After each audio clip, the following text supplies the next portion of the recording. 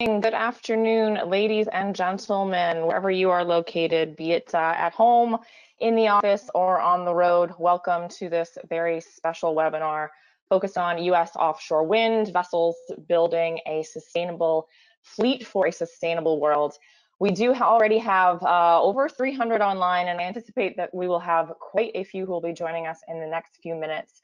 But since we have four fantastic individuals who will be joining me on screen here shortly, I do not want to delay the discussion and conversation too long. So we will go ahead and get started. My name is Myra Shannon Fuller. I am the communications manager for Hub Americas Maritime at DNV, and it is my pleasure to be the host and moderator of today's joint industry event.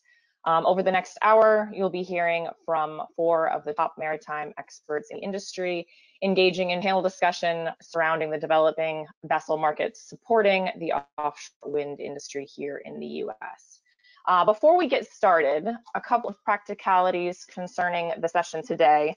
Um, if you are not familiar with this GoToWebinar platform that we are using, just to highlight for you there is a control panel on your right hand side of the screen. You will see an, or an orange arrow there, which will allow you to expand and collapse that control panel.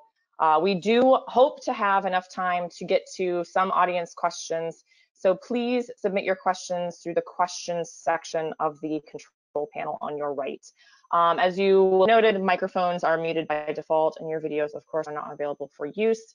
Um, so any questions that you have, please submit them through the questions panel. If your question is for a specific individual, if you would be so kind as to indicate who the question is for on your submission, that would help us to direct it to the right person.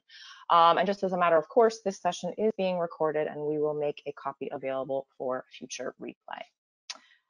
Now, Getting down to business, our panelists today, first up, we have Dave Lee of ABB, the Senior Account Manager of New Builds, who is responsible for overseeing and leading sales initiatives for the workboat industry and marine construction.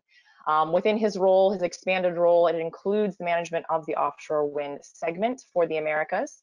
Uh, in particular, his focus on implementing sustainable solutions for offshore construction and support vessels. Dave continues to educate the market on environmental demands with the long-awaited expansion of offshore wind farms. The need for sustainable vessels is inevitable in the United States due to the Jones Act. The vessels needed for offshore construction and support vessels require unique expertise, and Dave is specifically skilled in all aspects of hybrid and electric system integrations. As you can see here, Dave um, is representing ABB. A bit of information concerning ABB and the offshore um, wind market and its relevance to the market is here on your screen. Um, we will also provide contact information for the individuals who are panelists during this session in follow-up hereafter. Second, uh, my colleague Nick Prokopuk, who is the Business Development Manager for DNV Region Americas Maritime based in Houston and responsible for DNV when it comes to special ships and offshore wind segment within that uh, for North America. You may have seen Nick's face on his blog series, hashtag Ask Nick About Offshore Wind, um, on LinkedIn, where he discusses topics important to the development of the industry within the United States, including infrastructure, regulations, turbine maintenance, and the vessels needed to support the market, the market as well. Uh, through his vlog series, Nick has become a bit of a spokesperson and champion for this vessel segment, uh, which is essential to the growth of the US wind industry here in the US. Next up, we have Jeff Andreini, who is a 41-year veteran of Crowley Marine Services. Throughout his tenure, Jeff has worked both in operations and in administration, responsible for the management of the US West Coast tug commercial operations, global strategic development, finance and accounting for various divisions, uh, CFO for Crowley Marine Salvage Joint Venture, and in his current role as Vice President of New Energy, which brings him to the discussion table today. Uh, in this new position, Jeff is responsible for the global development of renewable energy, including offshore wind and Crowley's current LNG business in Puerto Rico. And last but certainly not least, Mike Holcomb, the Senior Vice President for Marketing at Keppel Offshore and Marine. Mike is a graduate of the U.S. Merchant Marine Academy uh, with a BS in Marine Engineering. He has worked in test and trials uh, at Ingalls Shipyard and sailed as a licensed engineer on U.S. merchant vessels. Joining Keppel, um, Keppel Offshore and Marine in 1991, he has since worked in business development roles, where I think he'd say this market in particular is keeping him quite busy these days. And now getting down to business, uh, why we're here. And this term 30 by 30 is, I think, a phrase that's been coined and thrown around a bit. But really, what does that mean? Um, well, I'm willing to bet the majority of you here on the session today have heard the administration's announcement in late March concerning uh, the mission to support and increase the wind development target here in the US. The deployment of 30 gigawatts of offshore wind is equivalent to roughly 2,500 turbines. Now, there's a lot of other figures that are being discussed, and I wish I could emphasize with a long roll of paper just how much this is, but I'm going to read very carefully to ensure that I get the thousands correct uh, from 12 billion in capital investment, it will spur annually, leading to the construction of up to 10 new manufacturing plants for offshore wind turbine components, new ships to install offshore wind turbines, and up to $5 million in port upgrades. Achieving the 2030 goal will support 77,000 jobs, including more than 44,000 workers employed in offshore wind and nearly 33,000 additional jobs in communities supported by offshore wind activities. It would also unlock a pathway to deploy 110 gigawatts or more of offshore wind by 2050, supporting an additional 135,000 total jobs, including 77,000 in offshore wind and 58,000 included in communities with offshore wind activity. So the panel today is focused in digging into the details here and sharing their insight in what this means specifically for the maritime industry and what needs to be done for the maritime industry to rise to this challenge, which is considered, I could say, perhaps an ambitious challenge, but what we can do to rise to this challenge uh, with much excitement and with much focus, and with the critical factors of achieving the goal of 30 gigawatts by 2030, including US shipyard capacity, adapting existing European designs for the US to the local design developments, and the employment of US workers, as well as the impacts of the Jones Act. So with that, I'm going to welcome to the virtual stage our panelists. If I could get you gentlemen to turn your cameras on and microphones as well. One, two, three. There we go. All right. Well, welcome. Good afternoon, guys. How are we doing? Doing well, thank you. Very good, very good. Well, let's open it up today, and I can see we've got uh, more than 500 online. So I know folks are not here to listen to me; they're here to listen to you. So we'll we'll go ahead and we'll kick this off early. Um, question: the first question to start off with the right out the gate what needs to be done for us to reach the 30 by 30 target? And maybe Nick, if we could start off with you for that one. Sure, sure. Thank you, Myra. So yeah, I mean, um, what you you you you mentioned in your intro, um, 30 gigawatts is going to be, you know, 2,500 or so turbines, an absolute massive amount, and it just comes with an enormous opportunity, enormous potential. Um, for this new industry coming to the U.S. If you know, we're talking today here about, of course, the maritime space. All of us are very active in that if we look towards what was done in, in Europe to um, put in the existing 25 or so gigawatts, you know, we can estimate about 500 vessels in total were used for that. Um, you know, logic says that would apply about the same here in the US. Um, now with our, which we'll get into later, of course, in much more detail, our specific Jones Act requirements, that's gonna, you know, hopefully lead to a lot of very exciting new building opportunities, conversion projects, uh, upgrades, retrofits, and you go on and on and on. It's really an amazing time. Uh, super exciting, you know, that it's the potential is really unlimited from here on out. Um, I'm, I'm super excited. I don't know what to say about it. I know you have a lot more to say, but uh, since we've only got an hour, we're gonna keep you we're gonna keep you uh, tied up here and not keep from saying from from taking time from everybody else. Uh, Jeff, if we kick it over to you, what do you see in terms of uh, what do we need to do to achieve the 30 by 30 goal? Yeah, I, I, I would say, Myra, there's there's three things that that I look at and that Crowley looks at as a company. Um, first and foremost is infrastructure. Um, so how do we develop all of the, the port infrastructure, uh, the supply chain management that's going to be required to make 30 for 30 a reality? The other thing, and I, I hear this from Nick all the time, is Jeff, when are you guys going to build more assets? More ships and, and uh, yeah, without a doubt. Um, the challenge that we face as an industry right now is, as I think everybody knows, we only have uh, one wind turbine installation vessel that's Jones Act um, uh, available for, for the industry. Um, there's only a certain amount of tugs and barges that are going to be capable of doing all this work. We definitely need more assets and we definitely need uh, folks like uh, Mike at Keppel uh, to have enough space to be able to build those assets as well. And then the last thing that we see is training. Um, this is a brand new industry, and, and, you'll hear me say this multiple times during the during the course of uh, the webinar today. It's a, a generational changing opportunity for all of us, not only on the call, but for, for young people who are in college or academies or high schools and have an opportunity to participate. Um, but they need to be trained. Uh, we don't know what we're doing. We don't know how to climb up a turbine and be able to uh, replace a, a, blade or in a nacelle. And so there has to be a dedicated training program, not only for the technicians, but the mariners as well, to be able to work on uh, some of the vessels that Nick mentioned, the CTVs, the SOVs, and certainly the wind installation vessels as well.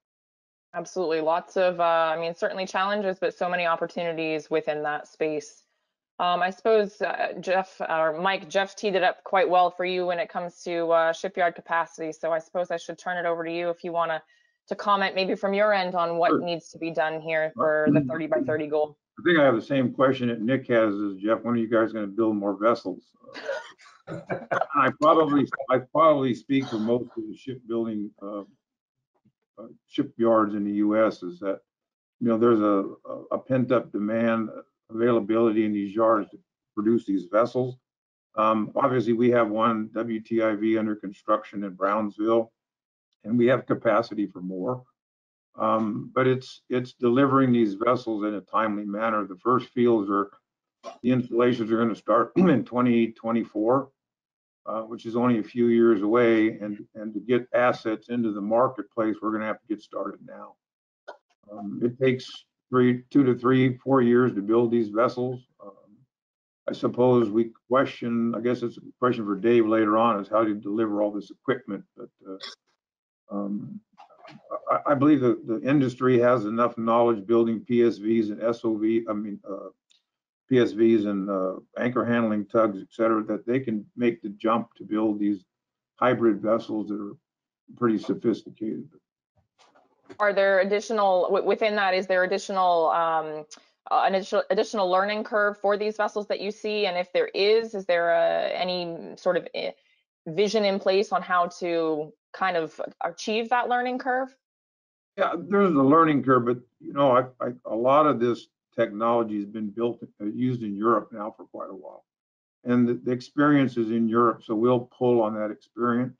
But it's incumbent, I think, on the manufacturers, uh, the, the suppliers of this equipment to work hand in hand with the yards to make sure that the, the equipment is installed correctly and in a timely manner. That prevents delays. Um, and it, it offers a, a safer and a, a more reliable piece of equipment. Absolutely, absolutely. Fantastic. Well, thank you, Mike. So, Dave, I think that's uh, that leaves it to you to respond, and, and maybe you want to make a comment about the delivery of equipment. Yeah, I, I, yeah, I appreciate that, Mike. And first of all, I gotta say, look, look at this panel. I, I, love this being here with these guys, my friends, just being able to talk. This is this is awesome. Uh, and I told them next time I'm down in Houston, we have one of these. We'll just be sitting next to a bar or something, so we can make it feel a lot more relaxed. So, first of all, guys, thank thanks for being here. But you know, I, really want to touch on something Mike said at the same time. and one of the reasons Mike and I get along so well, I'm an old shipyard dog. Uh, I spent almost a decade in the shipyard, right?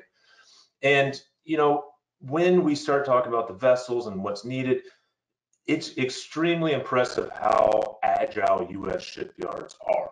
and how they so easily. You know, the yard I was at, we started there when they had two lines running and we were at five by the time that I, I left that particular yard.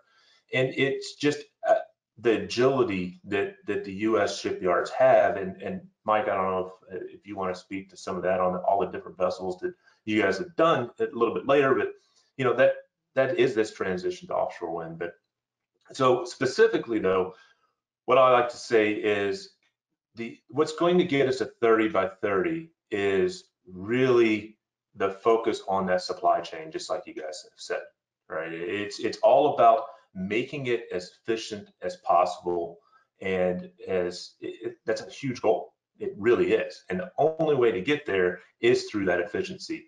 One of the, the crazy things that we're in right now is is actually also a, a confluence. So we are in the middle of this fourth industrial revolution at the same time that wind's coming along. And if those aren't familiar with it, so the first industrial revolution was steam back in the 17 and 1800s. We moved to electric in the 18 to 1900s, and then computing. And then today it's intelligence and it's all the digitalization behind what we're doing uh, in these fields. So it's the philosophy behind, and some of the the uh, uh, the network for offshore wind and some other groups are doing some great work behind getting all of us behind this this goal and as well that confluence behind that fourth industrial revolution. So what we need to look at is those philosophies behind making everything safer, more efficient, um, and really that's that's the goal of offshore wind anyway. It is how are we making this whole entire industry and how are we going to make energy more efficient? And it's in every single aspect of this. And just like Jeff said, with the training side, my gosh, you know, it, it's something brand new to us. And that's another thing. Eh, shipyards, education, something we're great at in the U.S. So it's it's something that I think the whole U.S. is really suited for. And the four of us and the companies that we have, we bring a lot of that uh, to that end goal of 30 by 30. Absolutely, absolutely. I don't know if anybody has a comment that they want to throw out. If that peaked a, a light bulb, but uh, if not, I'll move on. And I can already see we've got loads of questions that are stacking up here in the chat, so we'll work to try and get to some of those. Um, but rest assured, if we don't get to answer your question here live during the session, we will receive response in follow-up um, directly. So if uh, just to, to, flag that for audience, feel free to submit questions and we'll we'll work to get through as many as we uh, have time to get through.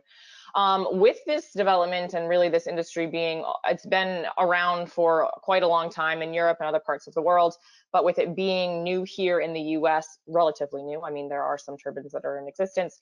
What do you see in terms of the trends to support the backbone of the offshore wind industry, um, which will be, you know, responsible towards operation efficiency and sustainability? What you were just speaking about, Dave.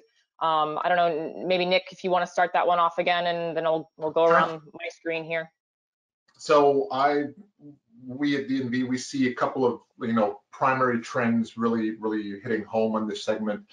Digitalization, uh, Dave talked about it, you know, data is key, data is king now. It's getting value out of that data everything, decision support systems, optimizing your energy layout, your environmental footprint, um, increasing automation, you know, we're seeing some early pilots of condition monitoring coming to the marine space.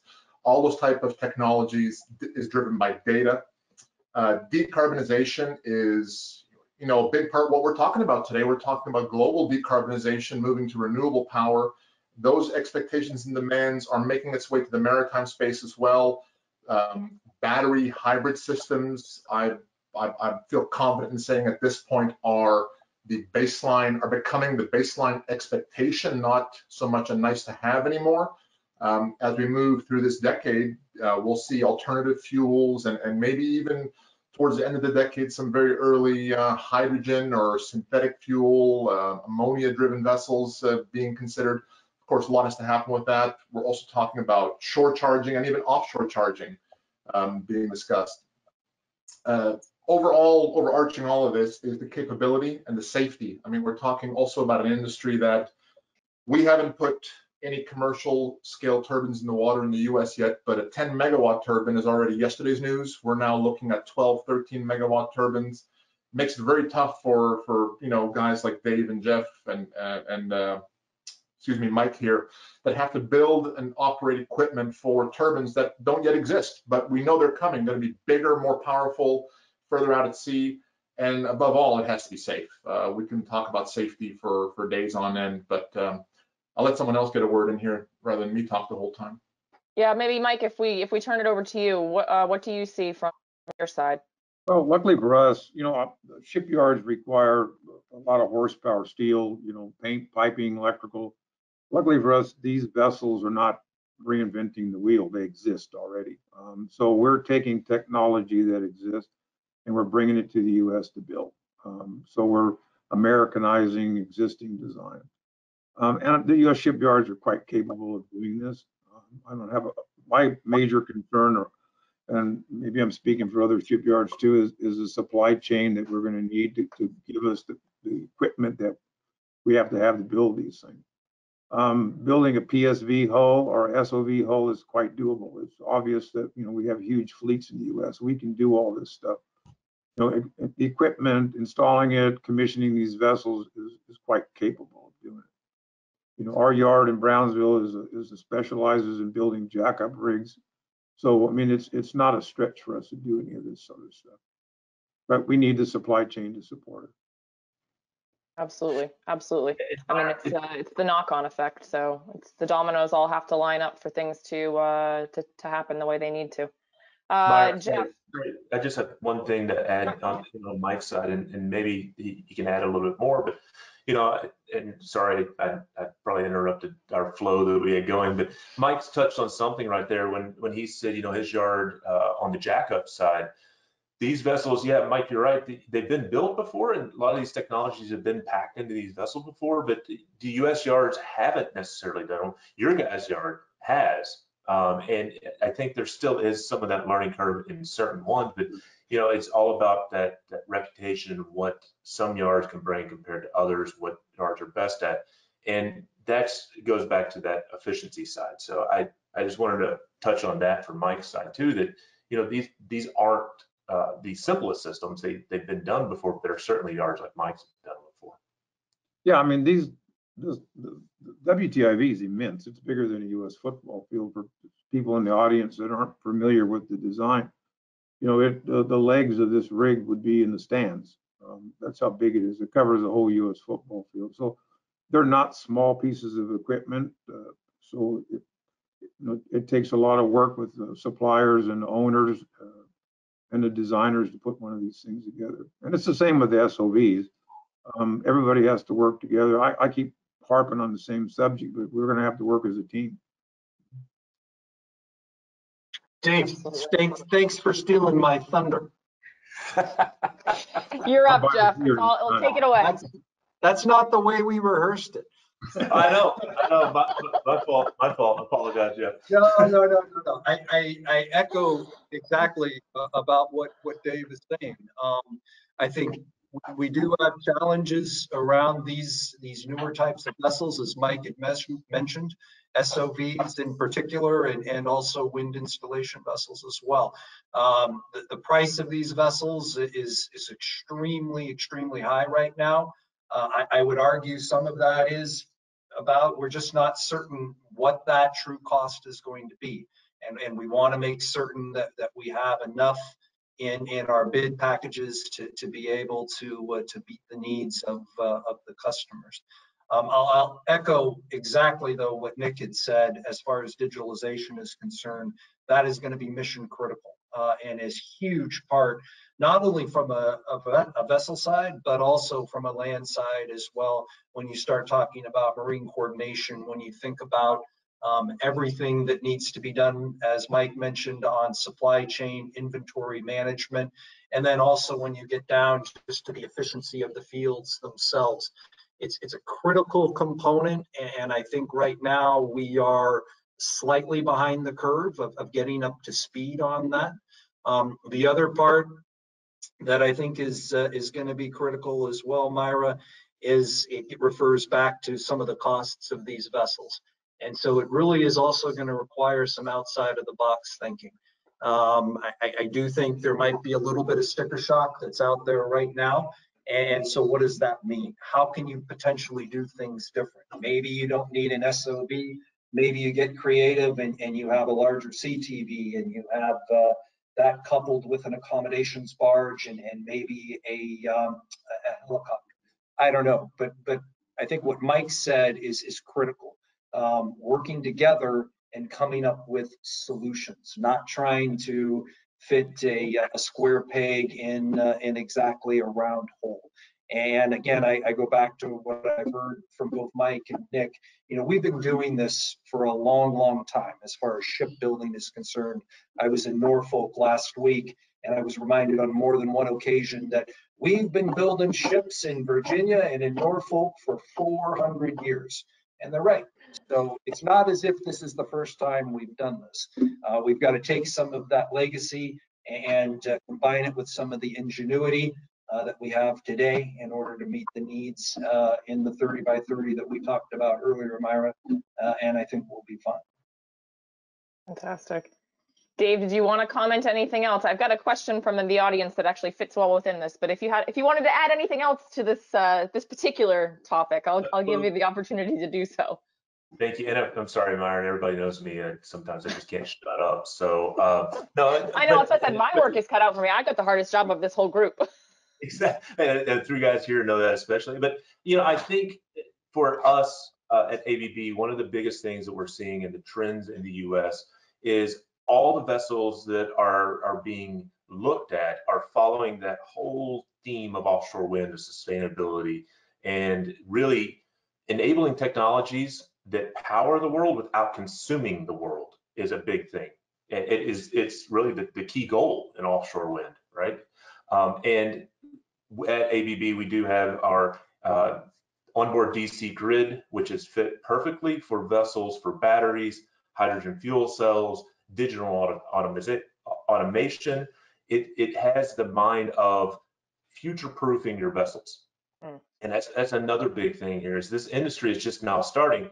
The vessel that we're building today is going to see numerous, just like Jeff said, we're not even really sure, do we need SOVs? Do we need some, something else? I mean, we're, we're really trying to figure out what that is. And, you know, in systems that we can assist, we can help with, um, at, at that point, it's looking at 30 years in the future, you're set up, you're ready to go for future fuels. Um, I'm not going to give my flux capacitor spiel on this one, but it- it's, you can throw any type of power into a vessel and we'll be able to consume that power for the systems you have, along with the digital side to do it as efficiently as possible. So I'll leave it at that. Sorry, Myra, you go, you go Oh, right ahead. No, perfect, it's perfect. Um, it just building, building a bit on this discussion, we had a question come in from the audience regarding, uh, what developers, vessel designers, OEM integrators are doing to reduce CapEx costs when it comes to building vessels here in the US and the impacts of the Jones Act. Um, kind of shifting beyond the European designs and then the standards, does anyone have comments or can anyone comment or perhaps pose some ideas on what might be happening or what might be um, under consideration as far as as th- that is concerned? Well, I, I'll add to that, Myra. So, you know, certainly with our team on, uh, on the Crowley engineering side, um, we're trying to look at how we might repurpose existing assets. Um, so we, we talk about, for example, our fleet of, um, of articulated tugs and barges. Some of them are, are no longer going to be fit for purpose for the petroleum services group. Mm. So how can we retrofit those vessels uh, to make them an articulated tug barge unit that can be able to uh, to work uh, on uh, on doing the T&I portion uh, for for offshore wind. At the same time, you know, we have come up with other opportunities, other solutions as it pertains to uh, say nearshore cable lay barges. Um, there's also uh, opportunities around retrofitting existing assets, tugs and barges, again, in an articulated tug barge format. Think it really gets back to what I mentioned earlier. It's, it's how do you think a little bit outside of the box? How do you work together with your customer, whoever that is, OEM, developer, installer, together in order to come up with the most efficient solution that is uh, that is available. It, it might not be as beautiful as the uh, the wind installation vessel that my good friend Mr. Uh, Mr. Holcomb is building, but if it gets the job done uh, and the customer is happy and everybody is safe at the end of the day, um, then I think it'll work. Gotcha. Yeah, if I might just add something to that. Go right ahead, uh, Mike. Yeah. I'm sorry, I didn't mean to interrupt. No, go right Um, ahead.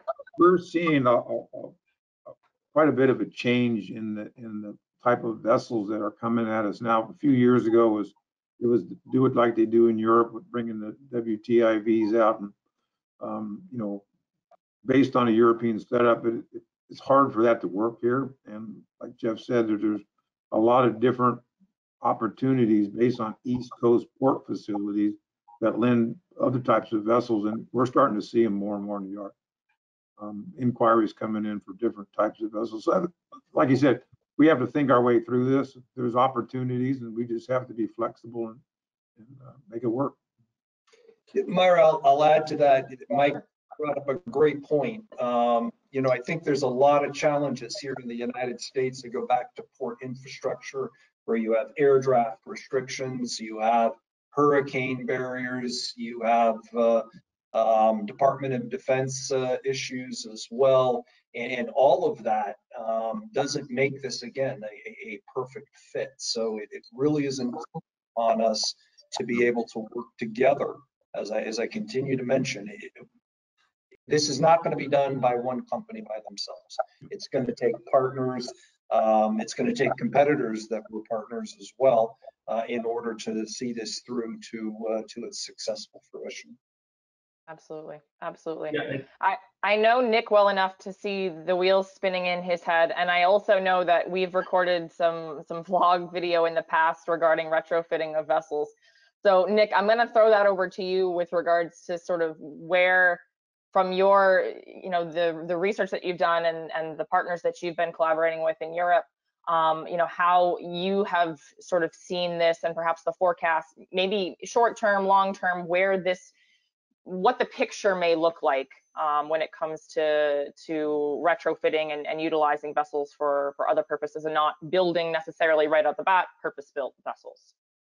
Yeah, um, I think, you know, guys like Mike are just sitting back and licking their chops when they look at the demand that's coming and shipyard availability. I mean, if you take SOVs alone, um, I think I've been on the record saying I see by the end of this decade uh, over a dozen needed, you know, if we're going to go with that model. Um, I'm not going to speak for all yards here, but, you know, three, two, two, three year build time of that overlapping yards fill up quick. It's going to be full. So just like like Jeff said, everyone's going to get their their their their shot at one and and more than one. So tremendous tremendous opportunity. So yeah, retrofit conversions, upgrades, absolutely. Um, to, to add on what Dave and Jeff said earlier, earlier, the U.S. has a very capable maritime fleet, a very sizable fleet. Jeff is one of the largest owners of a big part of that. Um, absolutely, you know, utilize tools that are available to you. Um, and I saw on the question in the audience, will it be a longer term or shorter term? I would say probably towards the shorter term. I mean, it's it's goes back to operability, suitability for the task at hand. Some of those could be very well long-term applications and, and, and lifetime ones, but the SOV case specifically, there's a quite a strong um, operational uh, pressure and stress on the operational availability, on the efficiency of that vessel.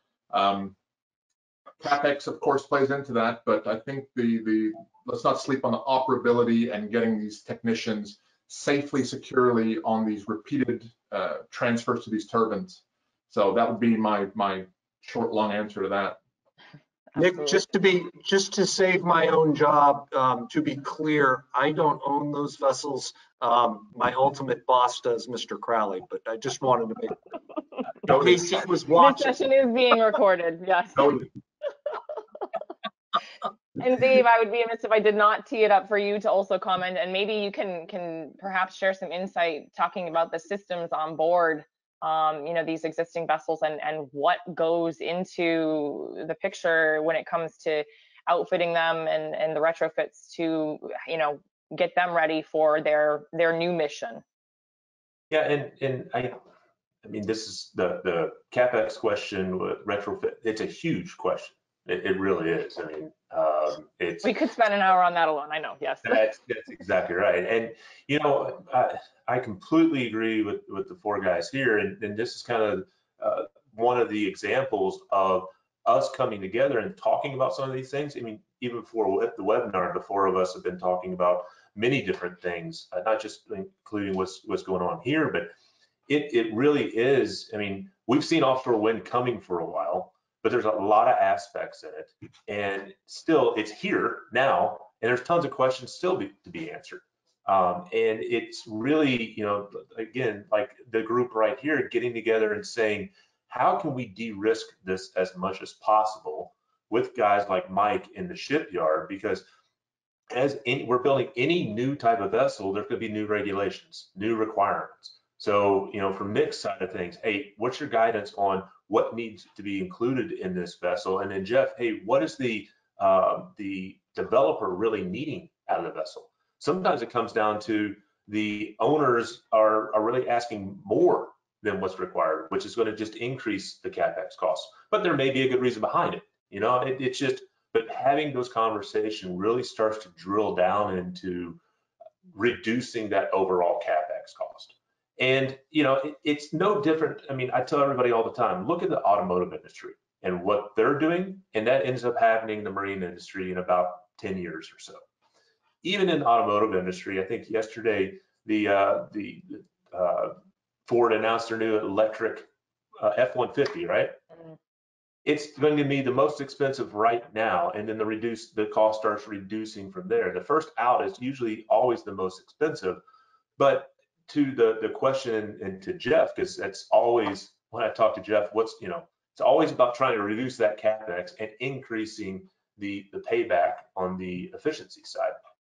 We can still we need to do that by working together. And then on the retrofit fleet, can we make that happen with those vessels that are existing, utilizing you know again the the guys that are here saying what are the shipyard's capabilities um, are the existing uh, automation suites that are inside of these uh, efficient enough, or do we need to do a, a, whole brand new rip out and replace? That's that's one of the biggest things. And uh, this past week, I was in several conversations. We always talk about the stuff we can see. We talk about the, the iPhone that's in our hand, right?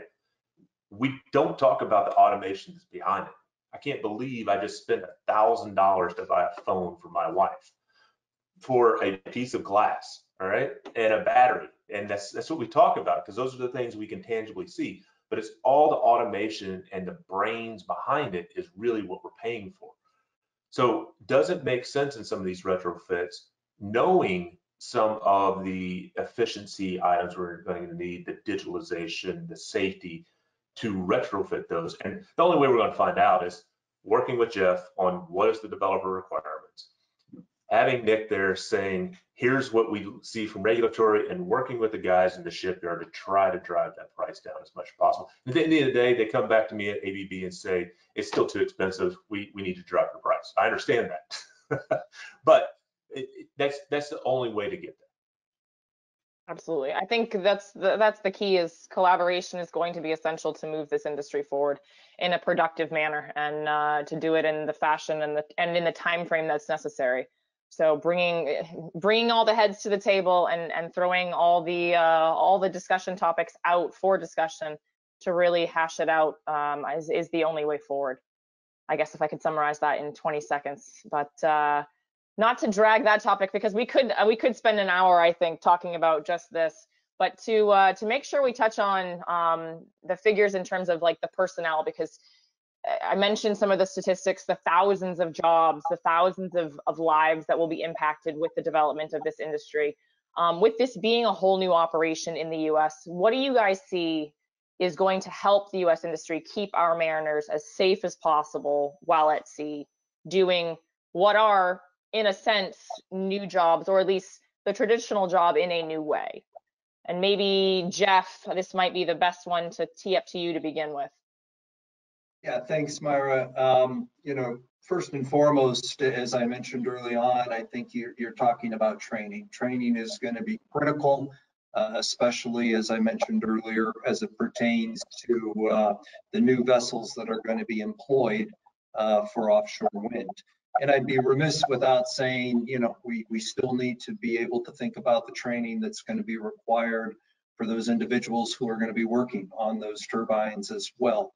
Um, that that is uh, another critical component. The other part that I think is interesting uh, and that we talk about a lot here at, at Crowley is um, how there is going to be some level of digitalization that's going to be played out for the safety and the security of not only the mariners, but everybody involved in offshore wind. And by that, I mean, if you think about today, the, the ship traffic that's going to be occurring going, you know, north to south, and then you think about the traffic with all of these vessels. I think Nick had mentioned maybe 500 or maybe 400 as it just is in comparison to what happened in Europe. That's a huge increase in ship traffic with boats, barges, as we've talked about here. Uh, and so how can we make certain that there's not going to be an increase in, uh, in accidents uh, that are going to put our mariners certainly in, in harm's way. The other thing that's critical to understand, and I realize it's not a direct effect with your mariners, but how do we avoid situations that occurred here most recently with the Colonial Pipeline?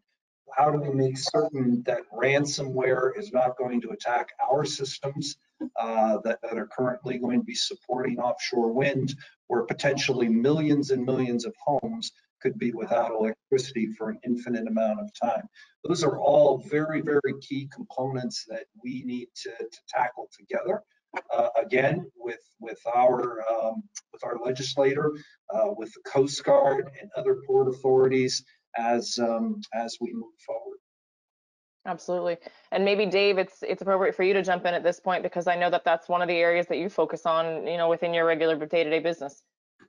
That's exactly right. And you know, uh, to Jeff's point, I'll go back to what one of the things I said earlier with the fourth industrial industrial revolution of intelligence. We're there now. We're uh, we see Tesla and other companies with you know autonomous vehicles. Um, and again, what I said before is wait 10 years or so, five, 10 years, and we'll have that in the marine industry. Uh, at ABB, we have two vessels we've already undertaken that are autonomous, a ferry and a tug uh, around the world. And the I'll, I'll, touch on first cybersecurity because everybody sees that. Again, going back to what do we see in the, in the public eye and what happened to the pipeline, that is of utter importance at ABB. Um, and with these new vessels and the uh, automation that we have in them, it's built with the um, cybersecurity as first, not later a lot of the older systems that have been utilized around the world and not in just vessels, but cybersecurity was an afterthought. Who was ever going to hack into me controlling a valve on a pipeline? You know, it, that was never even a thought. Today, we're saying who's going to hijack a container ship um, because they can have full control over it because it's such an automated system. And as we look at the vessels for offshore wind, they're getting there. They, they really are. Um, and you know, in our ABB uh, Marine Pilot Suite, we have a lot of things that assist um, that fork directly on control. We do uh, auto crossing, braking assistance. It's all done um, in that automation world. But all those are done in the mind of making the mariners on that vessel as safe as possible. To to Jeff's point, um, all these vessels that are coming through in our uh, pilot vision suite, we have lookout assistance, docking assistance, fairway assistance. Fairway, we can actually tell the difference between a seagull flapping its wings on the water and a person waving their hands that's in the water. Uh, and then utilize the system like braking assistance, know to brake or not.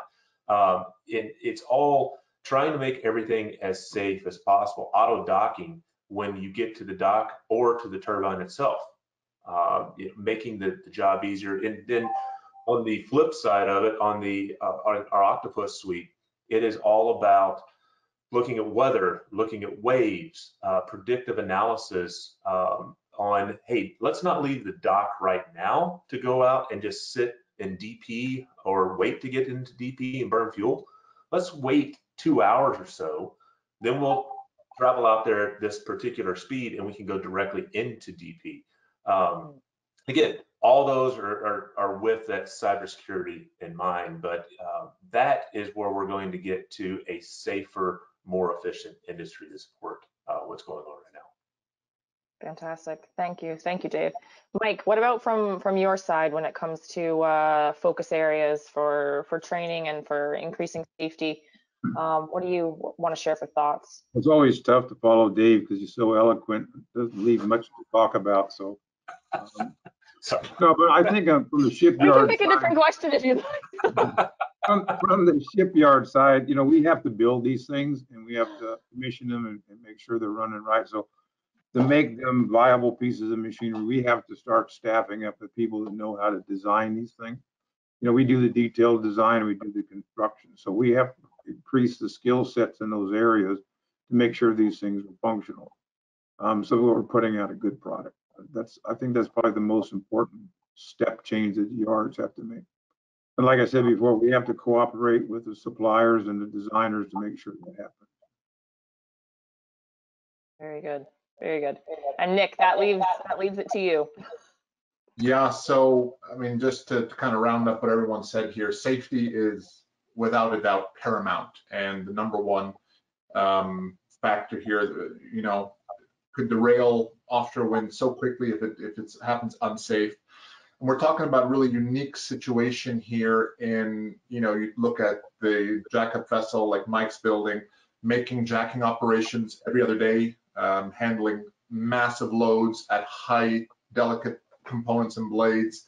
Uh, you know, it's a lot of moving parts. You talk about the SOVs, like Jeff was mentioning about um, going turbine to turbine every couple hours, connecting that gangway, persons going across in inclement weather. Um, you know, this comes as no surprise, should come as no surprise. Offshore wind areas are windy, you know, and, and transfer at 30 meters above sea, 35 meters above sea. Um, that's quite something, you know, on a moving vessel in waves and wind conditions. So technology will drive the safety. And, and again, the data we talked about is absolute paramount to ensure correct decisions are being fed to the vessel, um, knowing at all time, you know, where the vessel's at, what's safe, and, and when is it in its operating envelope to do exactly what it needs.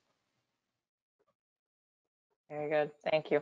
We got an interesting question from, and, and I'm, I'm a little bit hesitant to ask this, but I'm, I'm also interested to hear your thoughts. We got an interesting question from the audience.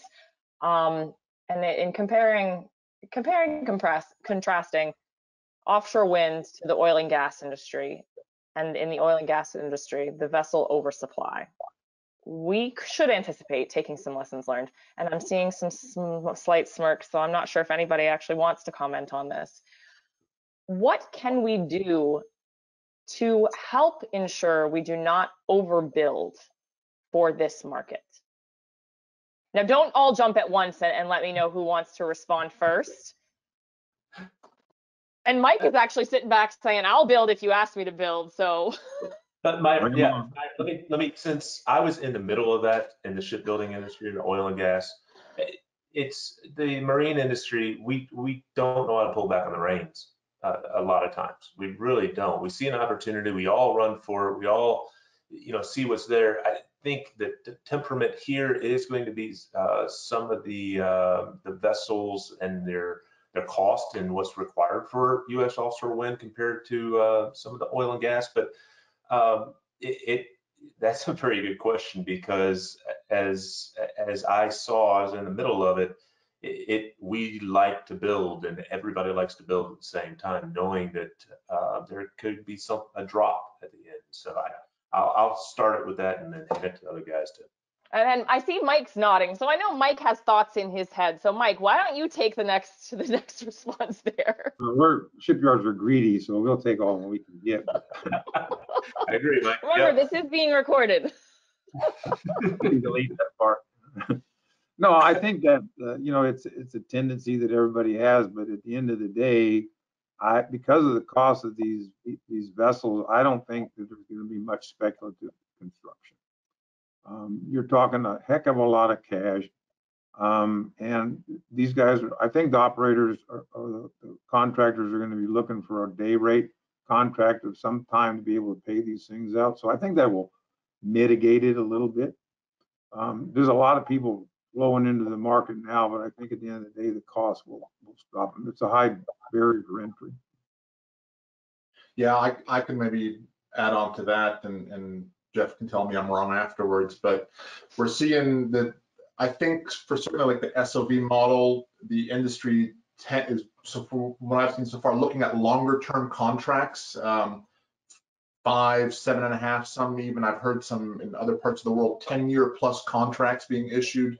So it's somewhat different in that SOVs are very bespoke, very custom, even though they're all quite similar when this vessel goes to work, it's dedicated to that field for perhaps the next 10 years, um, not necessarily competing out in the open market to find new work. Now, some some operators do off work on a different model where they contract shorter term, but the trend for now seems to be towards longer term contracts. Uh, and again, com- compared uh, considering the costs of building this vessel, I think I forget if it was Dave who said it building on spec doesn't seem very likely at this point for, for SOVs certainly. CTVs, that's going to be a bloodbath. I mean, uh, that that's going to be a different story. But SOVs and WTIVs, purpose built with orders in hand. Okay. So And I, no, and, and, and Myra, I, I, I would agree. I mean, we as a company are not going to build, uh, a vessel on spec. You know, certainly with, we're gonna build when we have a contract at the end of the day. I, I think the challenge that we have here is, is a real balancing act for, for the industry. And, and it really pertains in my mind around how we're going to do the installation, as I think we talked about early on, and the balance between additional WTIVs or more barges and tugs or something that might be there in between. Uh, and again, I, I- think today's prices for barges that are, are similar to our own, the 455 series, um, are, are fairly high. And, and you're going to have to have a, a, a certain amount of work to be able to cover those costs.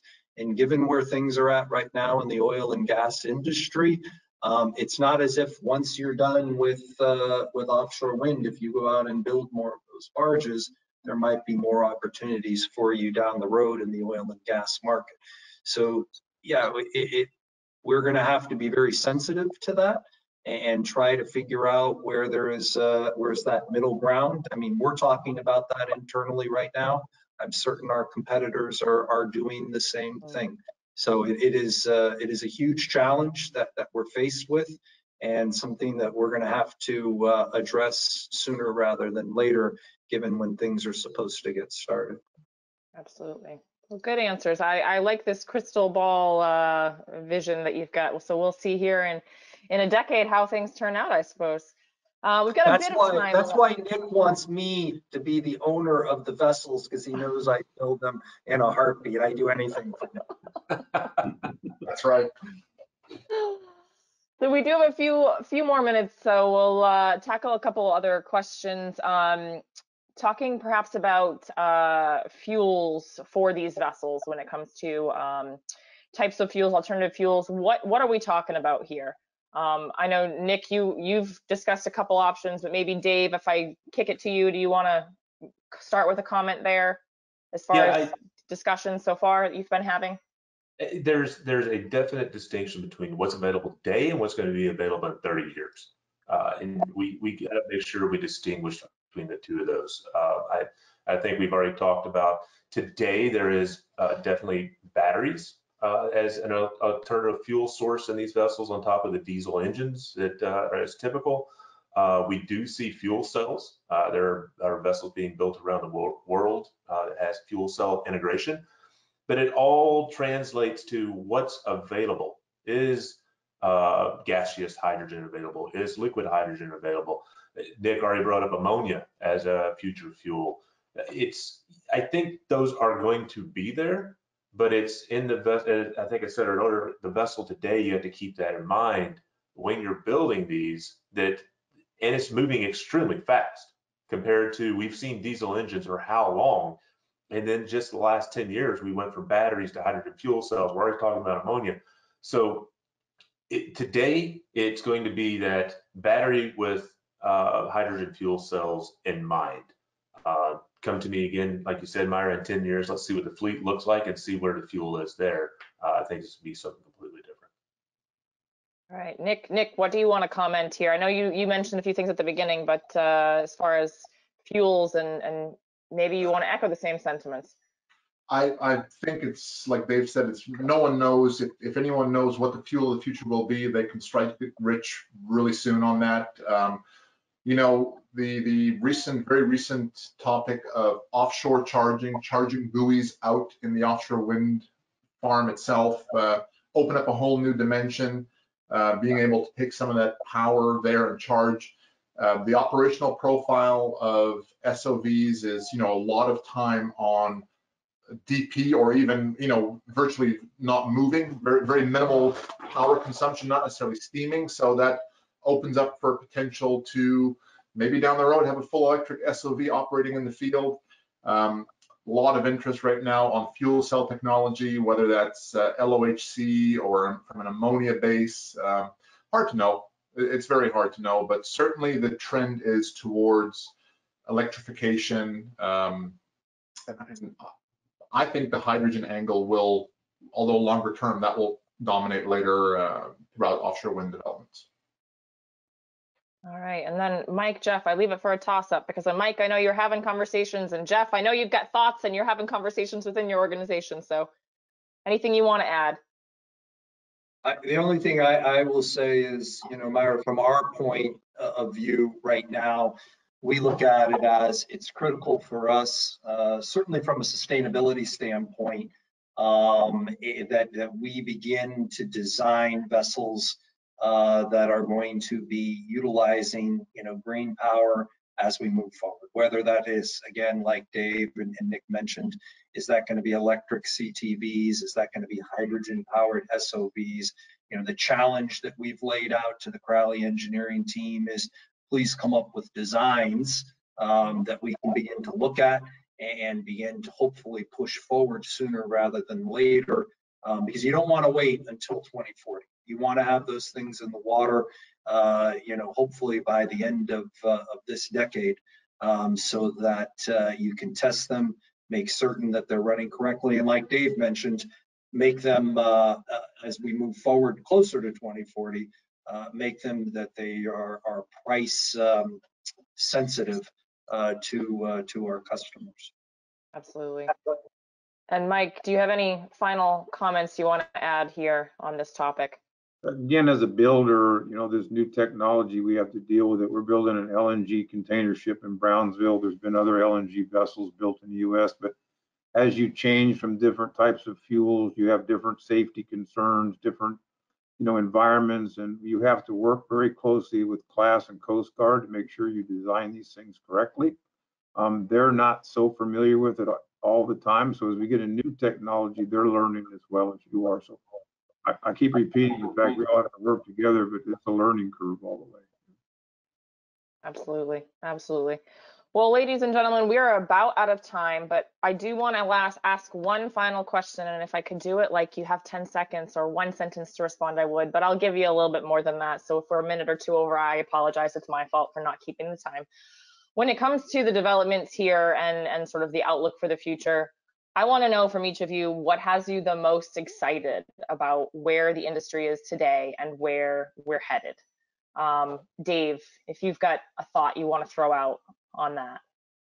Again, as you guys know, I always have a thought. So, uh, but in, in only one, I just need one. yeah, in in this particular one, I mean, this is something that doesn't come come along every day. This is a brand new industry in the United States there's huge opportunity for everybody. You know, we start talking about jobs. We start talking about Mike said on or Jeff said on the training side, um, but it is again a way to move the United States forward in the energy field, um, doing the right thing, not consuming the earth. Um, and uh, with that, working for a company like ABB, that that is our exact sustainability goal Uh, it, it partners so well with, with the whole idea of offshore wind. Um, and again, it's just that huge opportunity in front of us, uh, not only at ABB, but for, but for my friends here on the call. Absolutely. Mike, on your side, what has you the most excited?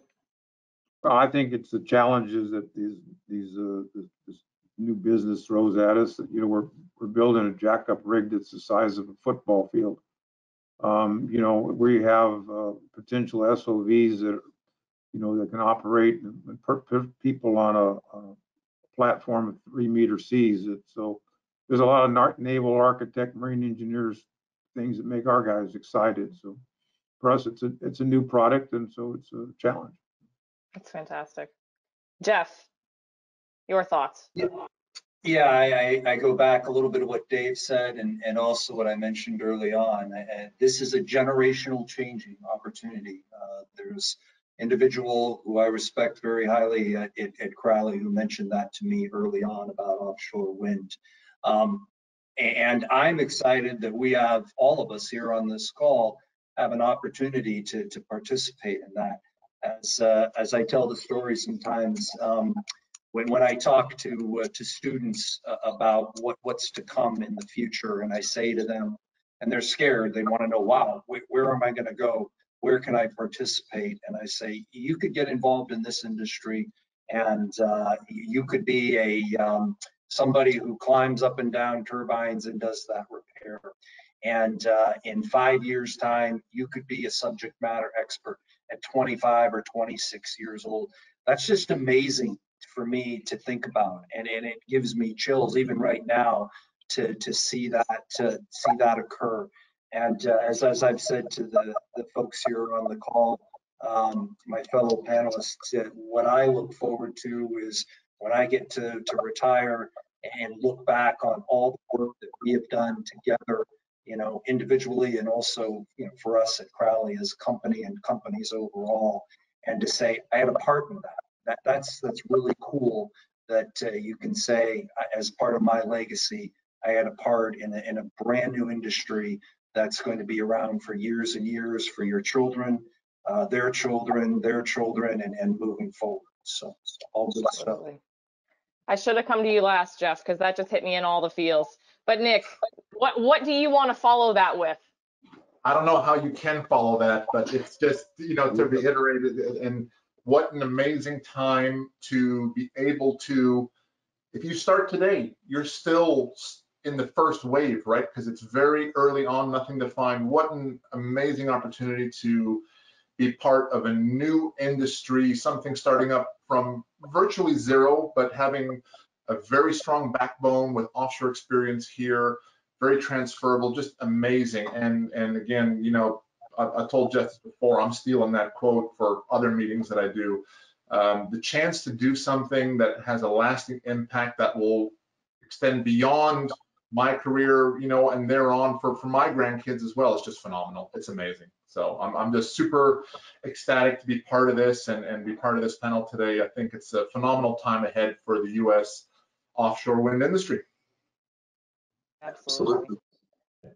Absolutely. And I think uh, based on our audience participation, and, and I can see because I have to scroll heavily through the list of questions that this is something that we, I think, need to consider doing again um, in the future.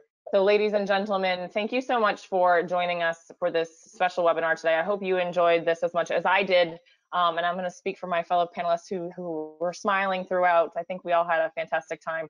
Um, and, and we will review your questions that you have sent um, and follow up with you individually to get you a response. And I think amongst ourselves, we need to consider going on the road and maybe the next time around we will have a backyard barbecue discussion and we can pull out the IT equipment and virtually stream it to an audience who can join us with their own backyard barbecue um, perhaps when we're able to be more socially gathered that is but uh, thank you so much to all the panelists today for your participation and contribution and for those in attendance thank you for joining us until next time everyone stay safe and take care All right. Thank you. Thanks, Myra.